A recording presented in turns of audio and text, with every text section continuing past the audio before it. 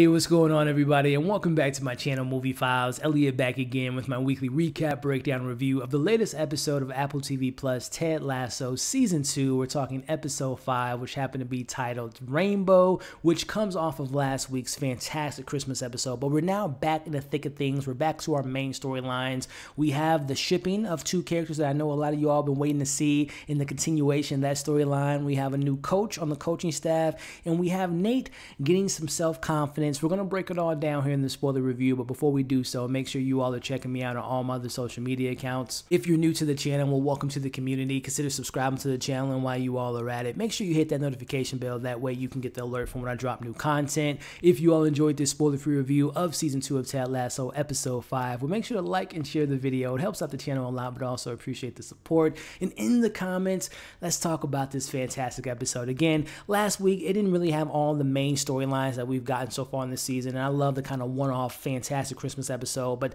this episode to me has a lot of good things about it and also sets the stage up for maybe some conflict in the clubhouse with the new coach that they hired. But outside of those things, I love the narrative that we get with Isaac. I love the theme in this episode, more importantly. And it's just about being yourself and being confident in yourself. And I really love that going through the main storyline. But again, Rebecca and Ted, I, I didn't see it coming last year. I'm just like, they just be good friends. But man, they have a lot of things in common. But I really enjoyed this episode. But let me know in the comments what you all thought about this episode five, some of your highs, your lows, and what you hope to see in the weeks ahead. But let's get into the recap as the episode opens up with the classic Ted Lasso speech. As we know, the team has a great management, they have a great you know, coaching staff. They have great players that, that believe in one another, can lean on one another, but none of that is unfortunately translating to W's on the field. We see that they have yet to win a game. They've been tying games or losing games. So we see Ted talking to the team, and, and a lot of the teams kind of getting upset about this, and particularly Isaac. He's been off his game lately, and we'll talk about him in this review. But we see Ted Lasso giving them the rom communism speech in regards to how in the rom com genre, which I love a good rom com, but we all know by the end of the day, everything works itself out. And that's kind of what Ted is telling the team that yes, we're not winning right now, but we got a lot of good stuff going for us. And by the time it's all said and done, everything will work itself out. And I really hope so because I really love this ball club and I want to see them start winning games sooner rather than later. But let's kind of transition into the main story, the main characters in this episode, which starting off with Rebecca. She's talking to Higgins. She's still doing her online thing.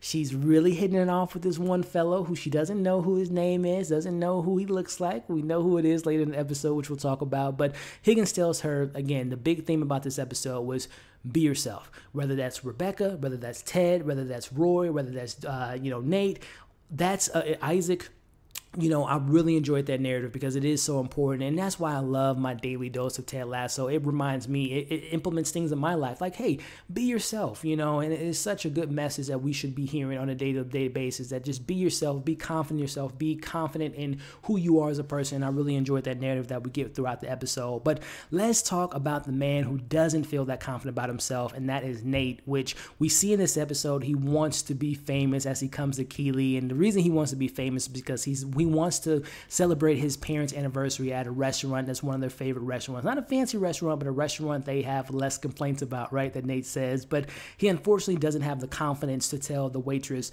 he wants that special seat. He wants that table by the window. He just doesn't have the confidence to really tell them, I need that seat. Even though they don't have reservations, let's make it happen. He's having a hard time kind of speaking up for himself. And that's where Keeley brings him into Rebecca and she kind of gives him the whole speech of how she has her confidence, how she has to talk to the other owners of the, you know, the soccer league and how she's she feels kind of little, right? She feels like a kid when she's in those rooms, but she has this self-confidence herself. She kind of steps out of her body and, you know, does her whole thing where she can really feel like she belongs in that room. She has that confidence that she knows that she exudes when she walks into a room. She tries to implement that into Nate as we kind of see him coming more assertive. We, we see him inevitably take his parents to the restaurant. And, and at first, the waitress has them go in the back, but then he goes in the restroom. He takes a moment, he breathes in, he looks in the mirror and tells himself who he is. Be confident in yourself.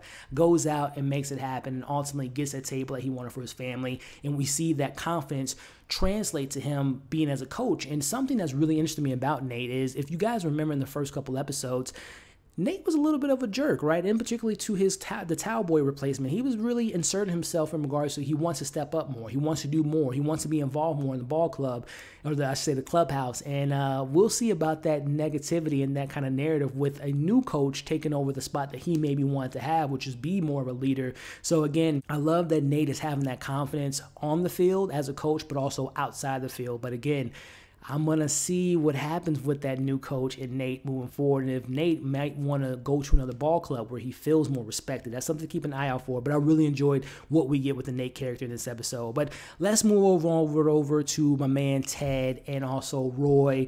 Now, we're having Roy being approached by Ted in this episode to be a coach on the team. And immediately Roy shoots that down. He does not want to be a part of the ball club. He doesn't want to be a part of soccer anymore, besides obviously what he's doing with commentating. But nonetheless, we know Ted's all about the trickery, right? He works his Jedi mind tricks. Obi Wan Kenobi, like, oh, okay, you don't want to be a coach. But we see that he tells him that Isaac, the, the team captain, has been struggling lately and he wants him to help him out. And just knowing that if he's going to help that player out, he's going to probably get that confidence. Like maybe I can help more players and get back into my mojo getting close to the game because we know Roy Kent loves the game of soccer. But we see that whole storyline play out as Roy takes him, uh, Isaac, and Ted to his home, his childhood soccer field, and they play a game of soccer and he gets his mojo back. But that it was in that moment Roy got so much happiness in seeing him giving good advice and having this player get out of the funk that it really ultimately led him to make the decision that he made towards the end of this episode. But at first, after he helped uh, Isaac out, he did say no, but we'll talk about his decision by the end of this episode. But going back to a really interesting moment, and you all have been saying it since day one of these reviews that you saw Rebecca and Ted Lasso being a thing. I personally just thought they were going to be friends. I honestly thought that Ted maybe was going to have his relationship with either his wife or Sassy, but it's starting to look like, especially after last week with the Christmas episode and them really hitting it off. But then after this episode, where we see Rebecca, you know, going back and forth with that person online dating, and that person is no other than Ted Lasso himself, we see him smiling and having a good time they have a lot in common. And I think by the end of this season, and I can't believe I'm saying this I did not think this was going to happen last year. Ted Lasso and Rebecca will be a thing by the end of the season, especially the way things are shaping up. So it's getting closer and closer to that shipping that you guys have been calling for. But nonetheless, wrapping up the episode as we go back to Roy, who's commentating the game, and he's just watching the game. He's like, you know what? I missed the game. So we see him run into the field. He pops his knee out despite injuries and all that stuff, all the obstacles he had to face. He makes it back on the field. He's welcomed by uh, the crowd, you know, giving him applause. The players are happy he's there. Ted, Coach Beard's happy. The only person that wasn't happy that he decided to be Coach Kent was our boy Nate. So I think that's going to be a conflict in the coming weeks. Like Nate's like, I wanted to be what you brought Roy in for. He wants to be that big dog. He wants to be that person that can speak to the players and get them get their confidence level up, but not anymore after Coach Kent has taken over that vacancy spot. So that's going to be something interesting to keep an eye out for. But nonetheless, again, I love the theme of the episode of being yourself. I love the the self confidence and all the messages the film this episode had to offer. I'm really intrigued to see where this Rebecca and Ted Lasso relationship goes. I'm really intrigued to see where Nate and this whole conflict, maybe between him and Coach Kent, goes. And uh, again, can we win some ball games? That's what I really want to see. But nonetheless, I really enjoyed this episode. But I want to know what you all thought of this fifth episode. Your favorite moments, your least favorite moments. What do you think of all the stuff that developed in this episode? And what do you hope to see in the future episodes? Let me know in the comments. Thank you all for watching this review. If you stuck around to this point in the video, make sure if you haven't already to like the video, share the Leave your thoughts in the comments. Subscribe to the channel if you haven't already. And hit that bell. That way you don't miss any of my other content. Hope you all enjoyed this video. Hope you're staying safe. And we'll see you in the next video.